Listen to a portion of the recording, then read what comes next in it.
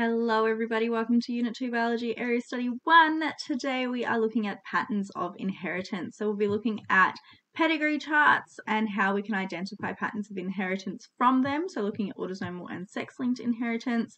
We'll be looking at predicting outcomes for a monohybrid cross um, and a test cross. And we'll be looking at how we can predict genetic outcomes for two genes if they're linked or assort independently. So we'll start off with pedigree charts. Now there are five major patterns of inheritance that we are going to be looking at today. Um, just to identify first off the important features of a pedigree chart, um, we identify a male using a square and a female using a circle. If it is coloured in, we say that that individual is affected by whatever trait we are discussing in that particular problem. Um, we also are able to represent generations.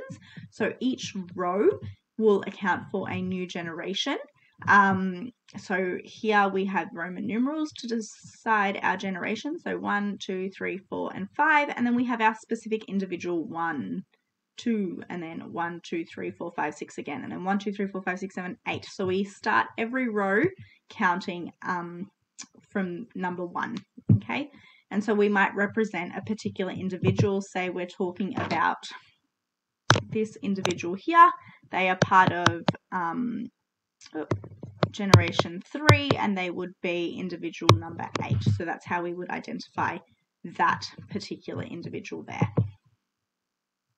All right, in terms of a mating line, so a line between two individuals suggests that they have um, a partnership with one another. A line coming down from that would show that these um, one, two, three, four individuals are their offspring. Okay, so going down, we show offspring. Um, we might add an individual, so that individual I spoke about earlier would be a partner that has married or become part of that family. In terms of genotypes and phenotypes and how they're written, especially when we talked about sex linked inheritance, we write them this way. So an affected female might be lowercase b, lowercase b, and the two X's show those two X chromosomes. Unaffected female, but being a carrier, we would show as a capital B and a lowercase b for a recessive trait.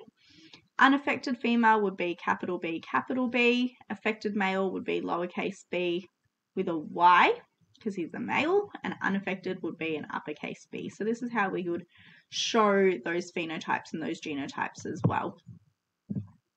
In terms of what we're going to be looking at today, though, is the inheritance patterns. So, in determining the inheritance patterns, there's a few sort of key features that might represent these, and I've taken this example from Edrolo because it really nicely summarizes what we're talking about here. So, for a trait to be autosomal dominant, it means that both parents are affected. The offspring, however, may be unaffected. Okay, if neither parent is affected, then the offspring are also not going to be affected. If an offspring is affected, they have to have an affected parent. Okay, so for autosomal dominant, if offspring is affected, say this individual here is affected, both of his parents are also affected. He just needs at least one though. So here, both these kids are affected. They have one parent that is affected, and this cannot skip a generation. So an example is Huntington's disease or achondroplasia, which is dwarfism. Autosomal recessive, however, is where if both parents are affected, the offspring must also be affected. Okay, but if neither parent is affected, then the offspring may be unaffected as well. If an offspring is affected, then they have to have um, an affected parent.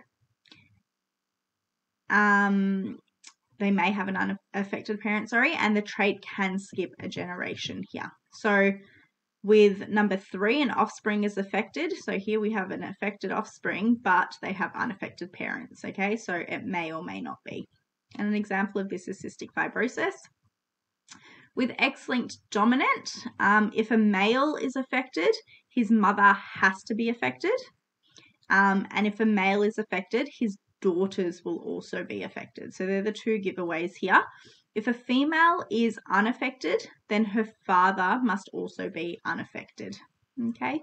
If a female is unaffected, her sons must also be unaffected. So this one's a really easy one to tell when you have your male and females because you can identify it based on these patterns. And the trait here, because it is dominant, cannot skip a generation. Um, in terms of using this, if it's a sex linked inheritance, it can't be confirmed with certainty using just the pedigree, but we can show that it is a possibility to be like this. So, an example would be Fragile X syndrome. For X linked recessive, if a female is affected, her father has to be affected. If a female is affected, her sons must also be affected. So, this is another one where we can use the male and female being sex linked or X linked, we can use these patterns to help us. If a male is affected, however, his mother may be affected, and the trait here can skip a generation, being recessive. An example is red green color blindness. And for Y linked, Y linked is very easy to tell in a pedigree because only the males can show the trait and all males in a lineage are going to show that same phenotype and it cannot skip a generation. So here we can see all the males in this phenotype in this um, pedigree have been affected by that phenotype. And we've got some examples here. So Y chromosome infertility is one of those examples. In terms of a monohybrid cross, um, we did talk a little bit about this in the previous video, and I did link in the description box an example of how this works. So if you'd like to look at that, I think that would be great.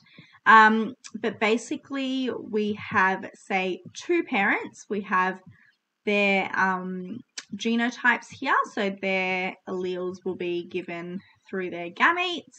Um, so this male, we have an X with a lowercase b, a Y. We've got here X with an uppercase B and a lowercase b.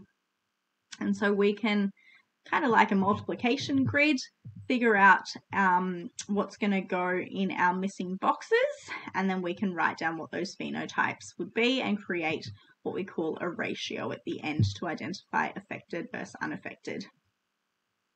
A test cross is something that can be used to determine the genotype of one of our originals. So, say we have a black sheep, but we don't know if they're heterozygous or homozygous dominant. We could cross that black sheep with a homozygous recessive, and this is what a test cross is. And then, determined by the offspring, we can identify what that might have been. Okay, so here, if the unknown genotype is homozygous dominant, then all of the offspring have to be black. Whereas here, if the unknown um, genotype is heterozygous, then half of the offspring would um, theoretically be black and half would be white.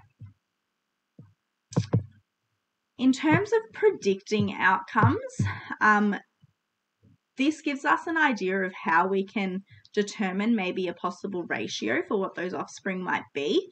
Um, in terms of linked genes, they are genes that are found close together on the same chromosome and they're likely to be inherited together as well.